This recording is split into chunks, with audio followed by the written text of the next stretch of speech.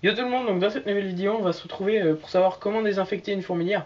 Donc euh, j'ai une fourmilière où donc euh, j'ai eu un problème, où donc il y a eu une attaque d'acariens et donc, toute ma colonie morte. Donc je vais vous montrer comment la désinfecter pour pouvoir la réutiliser. Donc pour la désinfecter, donc il vous faut une brosse à dents que personne ne se sert et du désinfectant comme de la bicéptine ou, ou de l'alcool. Donc on va enlever les fourmis qui restent, qui vont partir. Et après, on va faire donc un premier nettoyage à l'eau.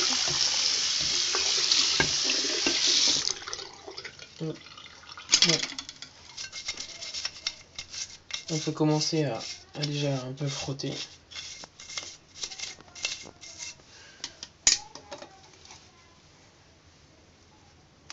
Après, on va mettre de la bicétine et on va faire donc le reste du nettoyage.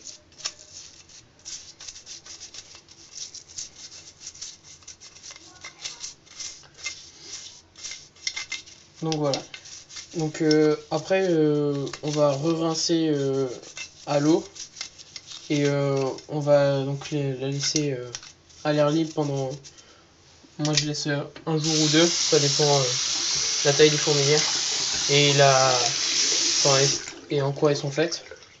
Donc voilà, on se retrouve euh, pour une prochaine vidéo. Salut